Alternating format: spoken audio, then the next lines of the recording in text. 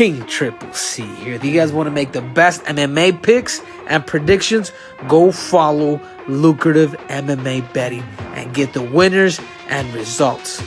Do it now or bend the knee.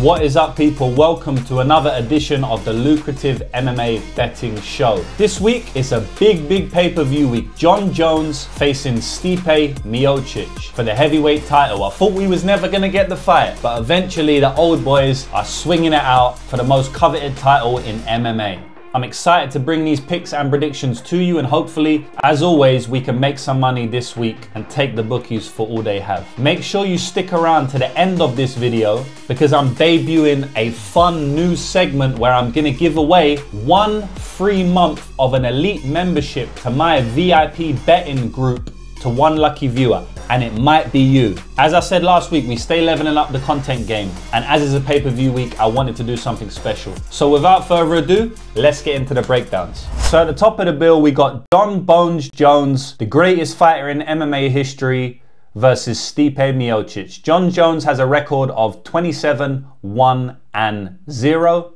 And that's from Tapology, but I think that might be wrong because I've heard through the grapevine that the one loss on his record is actually being overturned. That was way back in 2009 where he lost the fight from illegal downward elbows. But if you've been following MMA, you know that that rule has just changed and it's actually legal to throw those elbows now. So hit it with the Jon Jones. He right there. Hit it with the Jon Jones. He's right there. I heard that they're overturning that record. So in reality, Jon Jones will have a record of 28 and 0. On the other hand, we got Stipe Miocic with a stellar record of 20 wins and 4 losses. Currently, they have Jon Jones as a massive minus 700 favourite, with Stipe Miocic having an underdog price of plus 500. Boys, I'm not going to bore you with this one. This fight comes down to how Stipe Miocic looks. I mean, we still don't know how Jon Jones is going to perform up at heavyweight. I do understand that, right? He's only had one fight at heavyweight. It was over very quickly against someone who just was so outmatched in the grappling. So, you know, there is a chance that we still don't know if Jon Jones is going to perform well at heavyweight, if his cardio holds up, etc., etc. But the main question in this fight is not about Jon Jones, which is kind of ironic. The main question in this fight is really about Stipe Miocic. How is he looking? How is he going to look at heavyweight at 42 years of age? How is he going to look after four years out of the sport? How is he going to look coming back not only after four years, but after getting nuked by Francis Ngannou? I personally don't think he's going to look good, boys. I've seen some footage of him training over the last four years. He looks stiff. He looks wooden. He looks like he's lost a touch athletically, physically. And it's obviously hard to tell when the training footage I've seen of him is just hitting pads or working out in the gym. It's not actual fight footage, but I trust my eye and I don't think he's up to scratch anymore, boys. I honestly think that he could show a really, really poor performance here. Now, if he comes back as the Stipe Miocic that even fought Francis Ngannou in their last fight or any fight before that, he can make this a fight against Jon Jones. He's a real heavyweight. He's been at heavyweight for his entire career. Like I said, we still don't know how Jon's going to perform at heavyweight. And, you know, Stipe could make it close with the boxing and maybe some anti-grappling. But that's if Stipe is the Stipe of five years ago. I can't trust him to be that. I don't think any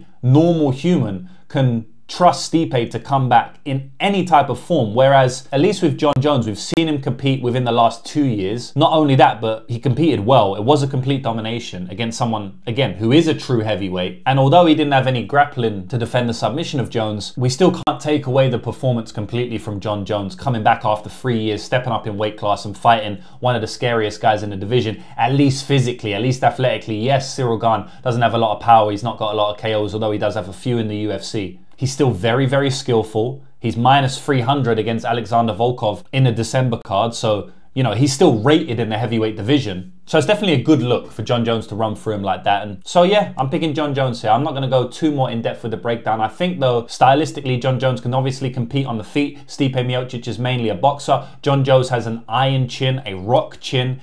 He's never been dropped. He's been wobbled a couple of times in the UFC. You know, Cormier hit him a few times. Gustafsson had some good shots. Obviously, Dominick Reyes punched him in the chest and dropped him, but that's not really a knockdown in my books. And at the end of the day, Stipe's best weapon is his boxing and his punching. So he's going up against an iron chin guy in Jon Jones here. So outside of that, I honestly don't see what Stipe has to offer. Jon Jones is better with the elbows, better with the knees, better with the kicks better in all realms of striking outside of pure boxing, but Jon never fights in pure boxing range. Jon is always on the outside or on the inside with the clinch knees. He's never fighting in pure boxing range. It's very, very rare he does that. If you round out more of the MMA game, he's a much better grappler. He's a much better wrestler. He's a way better wrestler. People are going to sit here and tell you that Stipe is a better wrestler. Jon Jones will dump Stipe on his ass a million times over if they wrestle, especially MMA wrestling. MMA wrestling is very, very different than normal wrestling. No matter what the wrestling aficionados will say, it's a completely different ball game because you can threaten with front chokes. The, you can use the cage, which is a completely different thing. Uh, a lot of times, wrestlers when they're taken down, they don't know what to do off their back. They haven't got great jiu-jitsu, so yeah, maybe they can stuff the first takedown. But you get what I'm trying to say. Jon Jones is the far better wrestler in this matchup, the better MMA wrestler and the better MMA, MMA grappler. I think Jon Jones can win whatever way he wants. And yeah, I do. I will say that it is predicated on Stipe coming back looking a shell of himself, which I am predicting him to do. And sometimes that is hard to predict. But after four years off and at 42 years old, I think it's almost a no-brainer. I'm taking Jon Jones to win here. I'm taking Jon Jones to win inside the distance here. And I'm taking Jon Jones to win within the first two rounds. After the fight, he's going to call out Alex Pereira. I don't think he's going to fight Tom Aspinall.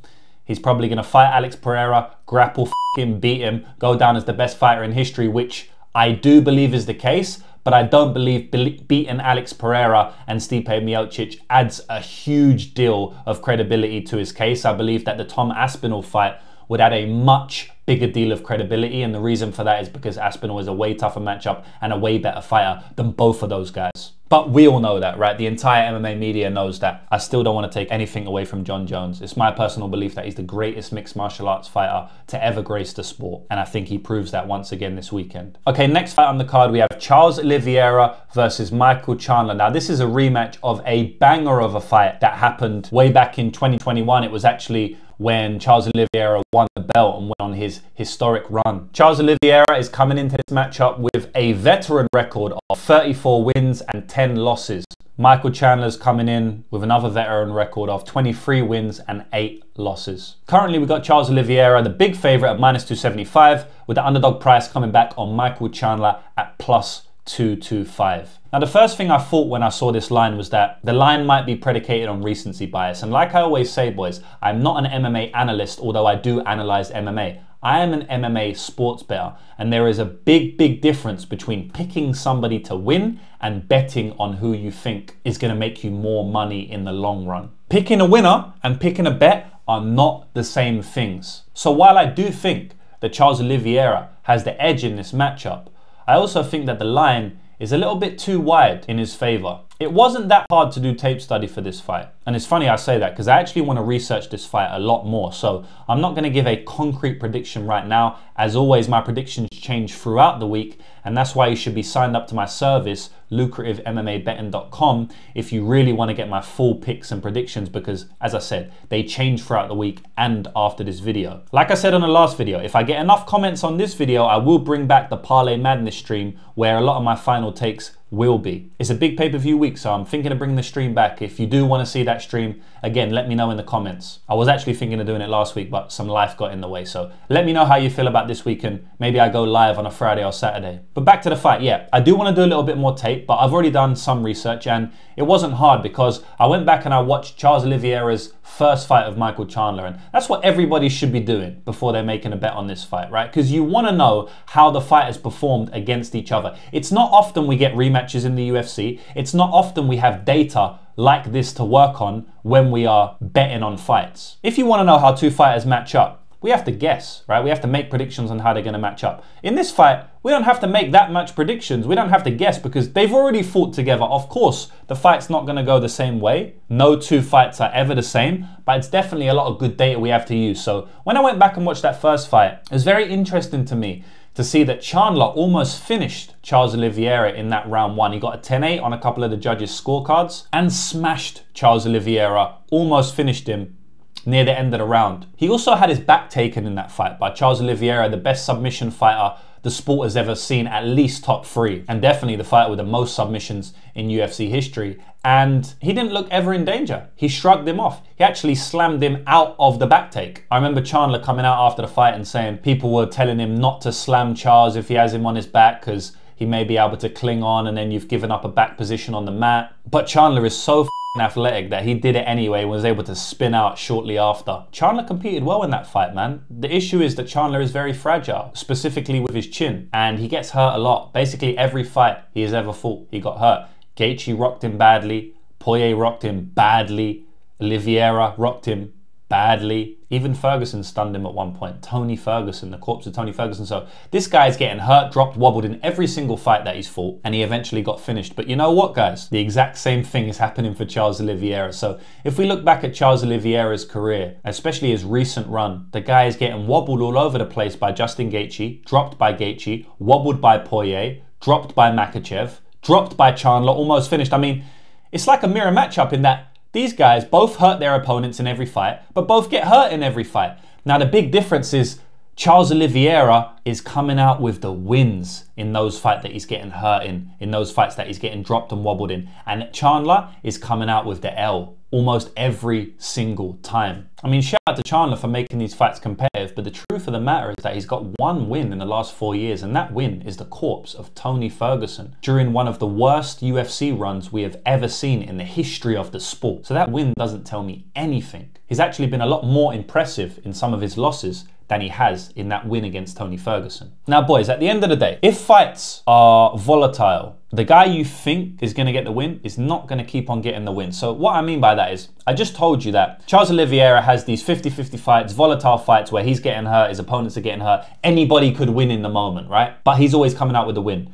And I said Chana's the opposite. He's having these 50 50 fights, but he's coming out with a loss. But that doesn't mean that that's going to happen for the rest of their career. I mean, if you're getting into these wars, if you're getting dropped, wobbled, hurt, you're not going to keep on pulling out the win, right? Something's got to give at some point. And, you know, you could argue that it did in Charles Oliveira's fight against Makhachev. He got wobbled, he got and finally got submitted. So just because Charles has been getting these wins in these 50-50 fights previously, doesn't mean he's going to get the win this weekend. I honestly think that Michael Chandler has a good shot of getting the win against Charles Oliveira, but I have to pick Charles Oliveira to get the win. He's got more tools to get it done, right? He's a better striker by far. He's got way more tools. He's brutal in the clinch. He's brutal at every range. He's got very good sharp boxing, whereas Chandler's got more looping hooks. I can imagine a world in which Chandler's looping the hooks, but Olives comes down the middle with a lot of the straight shots that he throws and he's able to chin Chandler that way. So at boxing range, he has an advantage. At long range, he has an advantage with his kicks and his vicious teeps. In close range, he has a massive advantage with his elbows, his clinch knees. I can imagine him getting the Thai plum here and just ripping the body, going to work with knees and elbows. And then on the ground, he has an advantage as well, you know, in his submission grappling. But Chandler has an advantage in power, in explosivity, in wrestling. And just the way Chandler fights, man, he's an absolute cannon. It doesn't matter who he fights, he always has a chance of knocking them unconscious. And he almost did it in their first fight. So I think plus 225 odds on Chandler are disrespectful. But I will pick Charles Oliveira to win the fight outright just because he's got more tools to do it and he's the better overall fighter. But, you know, something else to note is that if Chandler wins this fight, he's he's in the title shot again, you know, he's in a title shot picture. And he will know that going in. He also wants revenge on Charles Oliveira. Charles has been there, he's done it, he's won the title before, and the mental aspect of the fight game is something that is not spoken about a lot in betting terms, but let me tell you, it impacts betting terms a lot. Not every single time, but we have to take the mental aspect in as well. And, you know, it seems to me that Chandler's going to be the one a little bit more motivated for this fight. And if not more motivated for this fight, definitely more motivated for title aspirations. You know, I'm very confident in saying that because he's never been a champion. That is a burning desire for him. Whereas once you achieved it, it's not as burning a desire for you anymore, right? The second time, becoming a second time champ, a two time champ,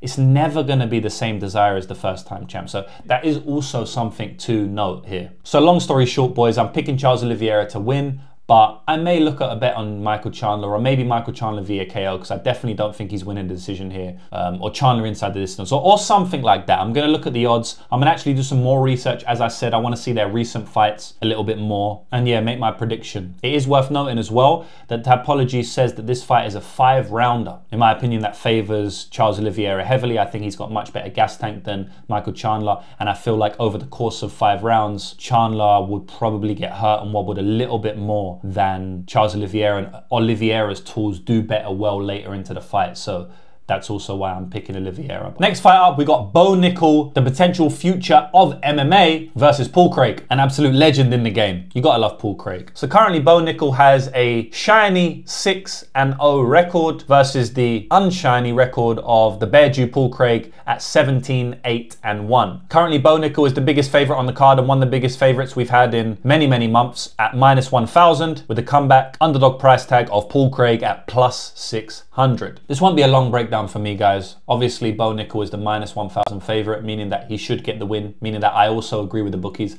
I do think he will win this fight. He has the wrestling to dictate where the fight goes, which obviously is always good when you're fighting Paul Craig because he is a very, very good submission grappler. I mean, he finished Ankalaev, Krylov, and Jamahal Hill, which are some high, high level wins. And he finished all of them on the ground. So if you can keep it standing with him, it's probably a better idea. Now, it's interesting because Bo is a full time wrestler, right? Like, he probably will shoot takedowns here, but that's not a guarantee. You know, Bo strikes me as someone who's smart, who knows what he's doing now. I will say that just because he's a full-time wrestler, he might just divert into the, the grappling. He might just shoot a takedown just because that's what he's been doing his entire life. If he does shoot a takedown, although it probably won't be the best decision, he can still win from there. I can imagine Bo shooting a takedown and honestly dominating from top position. Now, he has to be careful of the triangles. Paul Craig has a very, very solid guard. You know, he's got a very good triangle, got a very good triangle armbar. And it's not out of the realm of possibility that Bo gets caught in something like that. So, you know, if you're a degenerate like me and you want to take a little shot on Paul Craig via submission at massive odds.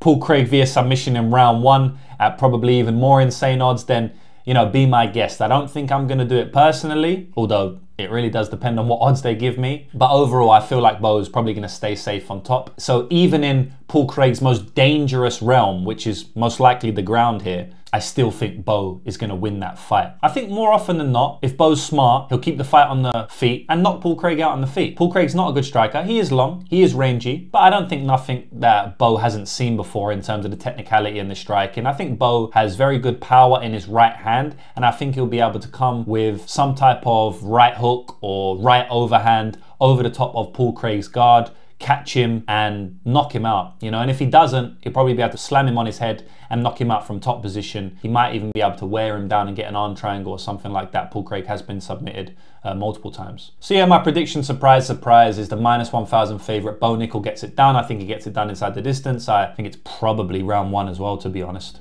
The next fight on the card is Karine Silva versus Viviane Araujo. We got Karine Silva coming in with the 18 and 4 record, facing the fellow Brazilian Viviane Araujo, who has a 12 and 6 record. Currently, they got Karine Silva with a minus 275 price tag, and Viviane Araujo coming back with the underdog price tag of plus 225. So the same price as the fight between Charles Oliveira and Michael Chandler. And you know, it's funny because Charles Oliveira and Karine Silva have the same price tag, but I don't think that that should be the case. You know, I think Karine Silva has a much better chance of winning the fight against Viviane Araujo this weekend than Charles Oliveira does have against Michael Chandler. But yet they're the exact same odds. And, you know, that's why I think we are able to make money from this game because those two fights, they shouldn't be the same odds, but they are. And that's why we have an edge in the game. Now, I could be wrong this specific time, but how many times do we see minus 400 favorites like Renat Fakhretdinov going to split decisions, and then we see minus 400 favourites completely dominate. That's why we can make money in this game because of the odds. It's not about who you think is going to win. It's because the odds are off, and we have to take advantage of those odds. A little rant, but let me get back to it. Karine Silva should win this fight. You know, I do think that she's going to be able to get takedowns on Viviane Araujo here, but I'm actually not sure it plays out like that. I think Araujo might be the one shooting takedowns just because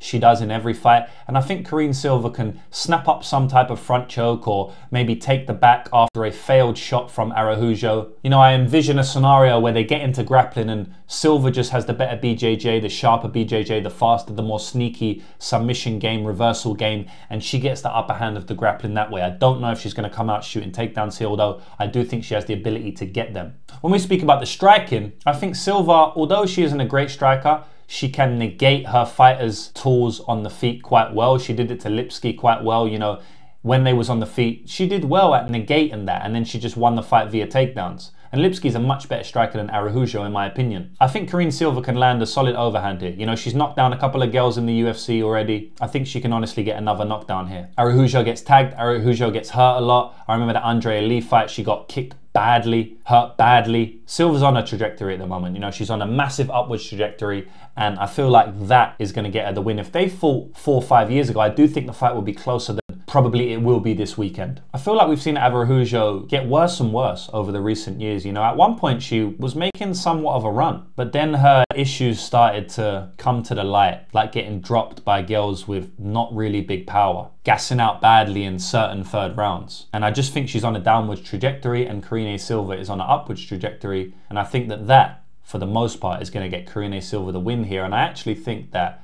she can get this one done inside the distance. Now, if she doesn't get it inside the distance, it could potentially be close. It could be like a 29-28, but I just think that more often than not, Silva's going to do what it takes to get the win. Even if the fight looks close, most likely Silva will always do enough. And that's what I like to call illusion of value. So I do believe that Araujo has some illusion of value this weekend. But yeah, I'm picking Karine Silva to get the win.